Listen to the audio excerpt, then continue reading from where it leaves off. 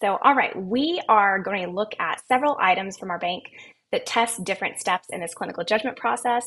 Uh, you're typically going to see these on the NCLEX in the form of case studies, but just for the sake of time today, we're going to look at a couple of these uh, in the form of standalone items. So Next gen case studies are typically where you're going to find your clinical judgment items, and we're going to look at some standalones.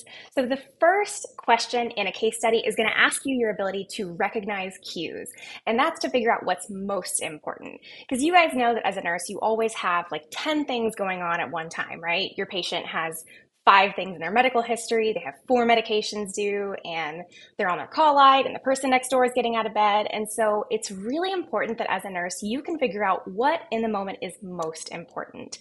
So we are going to pick from which of these assessment findings are most important. So here we've got a client with severe COPD or chronic obstructive pulmonary disease. Which of these findings is going to require immediate follow up? And so remember on the NCLEX, if you are asked to select what requires immediate follow up, you are looking for an unexpected abnormal that you need to do something about, right? So, we're going to have all kinds of abnormal findings that are expected. And so, we want to make sure that we're prioritizing those unexpected abnormals. All right. And so, what do you guys think? And we're going to do a quick review while you guys think about it on what COPD is. So in COPD, you can have either chronic bronchitis or um, emphysema or both. And so in chronic bronchitis, you have chronic damage from an irritant. And I bet you guys can remember what the number one irritant is that causes COPD. So what's that? Type it into the comment box. But in chronic bronchitis, that irritant damages and inflames the bronchioles, and that causes this inflammation and narrowing of the airway, so you can't get air in. And then in chronic emphysema, you've got destruction to the alveoli. So instead of this alveoli being like a really nice stretchy balloon right out of the package where it deflates and all the air exits smoothly, instead it's become like a floppy plastic grocery bag. And so when the client exhales, this just kind of collapses in on itself and that is going to prevent the air from getting out here. All right, so knowing this, which of these findings would require immediate follow up?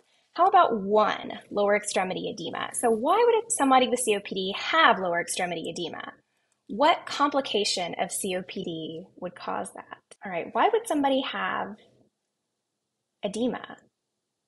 So, do you guys remember what?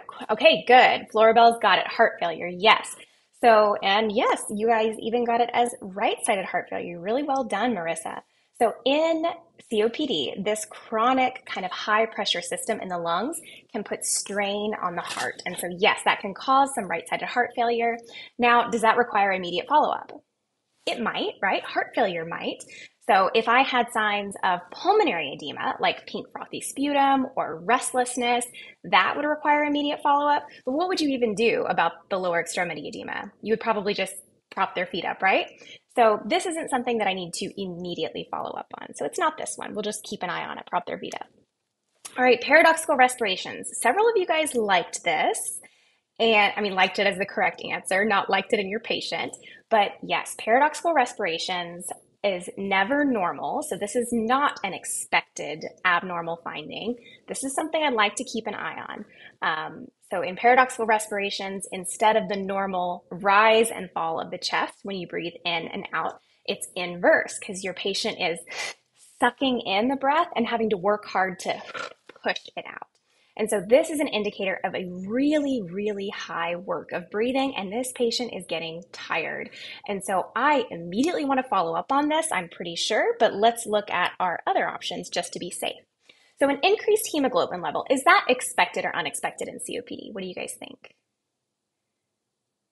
So why would somebody with COPD have an increased hemoglobin level? And that is because of something called polycythemia vera, right? These clients have chronic hypoxemia. They chronically have a low blood oxygen. And so, in an attempt to kind of compensate for this, your body starts to produce more and more red blood cells in order to try and carry more oxygen around through the body. And so, that is going to create an elevated hemoglobin. Good. Everybody's saying this is expected, right? So, I would just monitor this. There's nothing I want to do about this right now. All right, then in a pulse oximetry reading 88%. Do you guys remember what the normal pulse oximetry reading is for COPD?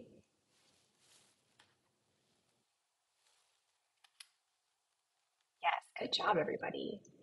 you said, no, no, you don't remember.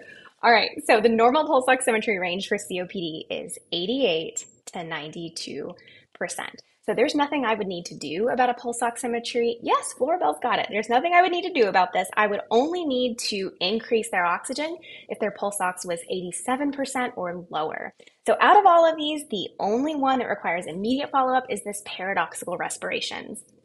And remember this key term for the NCLEX, you guys, because this is never normal.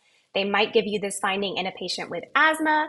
They might give you this finding in a patient um, with rib fractures, right, in a chest wall trauma, but it is never normal. It's always going to be a warning sign of impending respiratory failure. So, very well done, you guys. And yes, you can see in our question bank that only 57% of our users answered this correctly.